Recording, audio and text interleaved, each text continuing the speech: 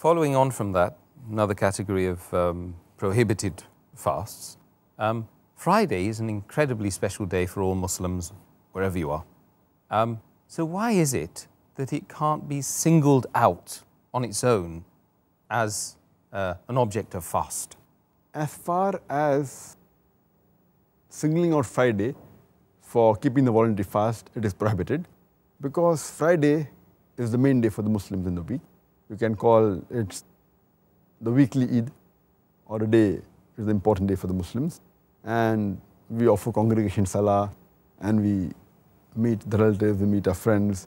So to fast on this day, it's not preferable. And furthermore, it is negating, doing the opposite of what the Jews and Christians do. They prefer fasting on the main day, that is, Jews prefer fasting on Saturday, and the Christians on Sunday, and this they consider as a religious day. And all the other days they do all the other activities, there's no problem. So we don't believe in that. They're only doing acts of good deeds on Friday and not doing on the other days of the week.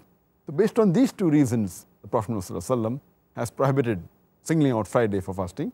But this prohibition is not complete prohibition. It is rather makruh. And he said that if you have to fast, you can fast on Friday along with fasting one day before or one day afterwards. That means you're not singling out for fasting. Or if you're used to fasting on particular days, you know, like maybe three days in a month, the Yamul Bid, and that happens to be a Friday, then no problem. Or if you're fasting alternate days, then that happens to be a Friday, then no problem.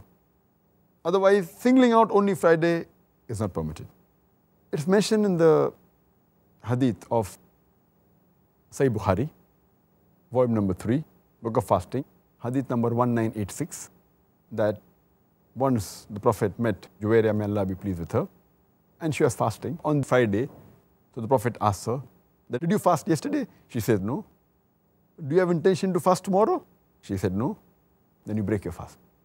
Prophet Muhammad further said, It's mentioned in Sahih Muslim, volume number 2, in the book of fasting, hadith number 2546.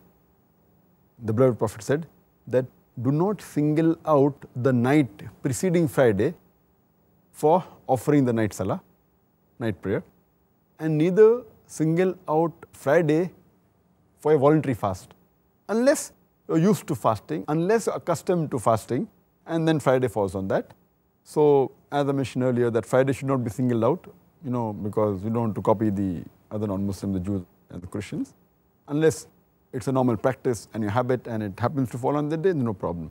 So if you fast on a Friday, if it's preceded by fasting one day before or one day after, there's no problem. Or if it falls on your normal routine of fasting like alternate days or the three days like Ayamul Bid, then it's perfectly fine.